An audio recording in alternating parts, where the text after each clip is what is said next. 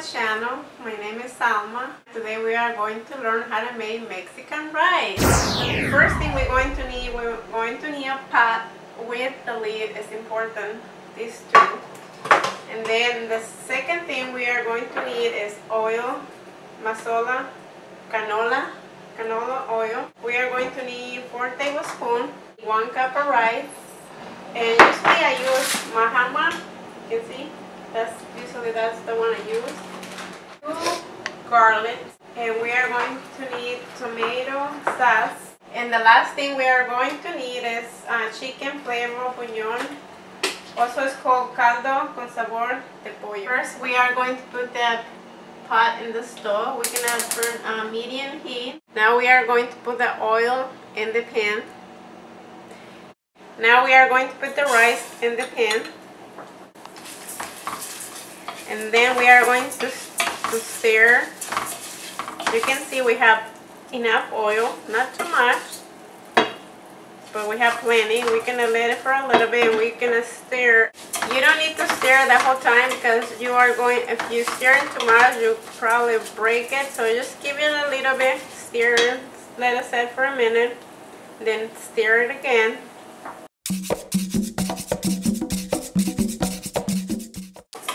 going to know when the rice is ready when it's turning gold.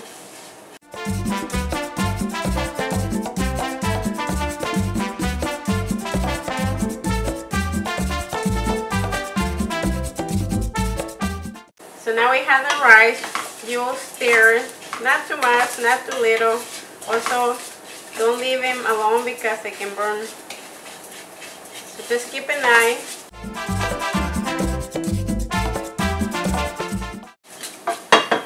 Like a spoon, like wood spoon instead of plastic. It's my favorite. Because sometimes the plastic, I don't know, I feel like kind of melts in the rice, so my favorite is wood. It's almost done. It's, as you can see, it's turned a little golden. Still we need like probably two more, three more minutes. It takes probably like seven minutes until it turns golden.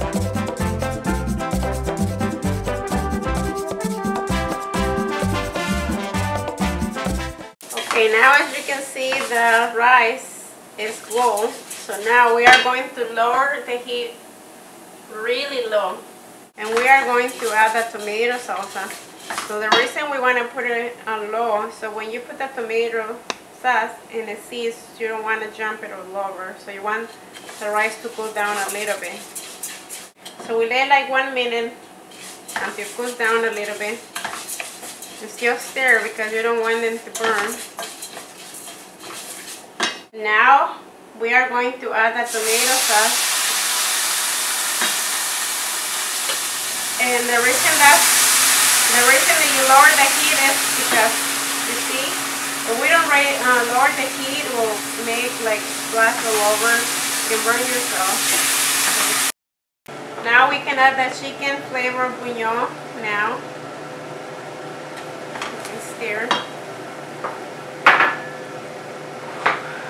Can add the garlic. Usually I use one of these. Put the garlic in here. Smash it.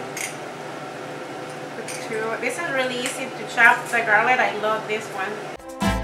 We are going to need two and a half cup of water. I like warm water. So since we lower the flames, you're not going to burn it. So this one. Have it. So now we are going to raise our heat. Medium heat. We are going to stir a little bit the rice. Now we're going to let it boil, bring it to boil. After it's boiled, we are going to put the lid. That's why it was important to have one of those. Now, as you can see, my uh, rice, my water is boiling. So now it's time, we're going to stir the rice one more time. And then we are going to cover it back. So now we are going to lower the heat, very important because you don't want to leave the heat really high because the rice wouldn't cook. So Now we are going to leave it like that, approximately like 15 minutes, that's what I think. You keep an eye till the waters evaporate. It should be cooked by then. So we load the heat. You see it has plenty water. And it's gonna cook like that. We stir one more time. And we just leave it alone. I guess assume maybe 15 minutes. We'll come back and check it in 15 minutes.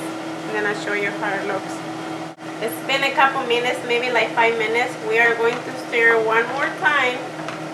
Okay, uh, I wanted to show you one more time my flame. My flame is really, really low. My rice is done. It's been cooking around maybe 13, 14 minutes. And that is how it looks.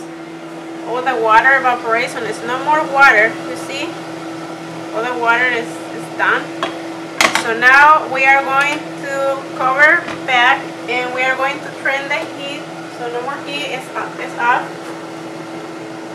In the red, the rice, we're gonna let it um, rest for 10 minutes, and then it will be ready to eat. I'll show you in 10 minutes how it looks. My rice is ready. You see, it's no water. It's dry. It's soft. It's perfect to eat.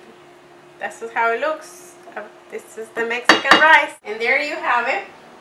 Mexican uh, rice that fits four people. It takes approximately like 45 minutes to make it from beginning to end. And it doesn't take a lot of ingredients and it's really easy to make. You can combine with a lot of dishes I will show you later.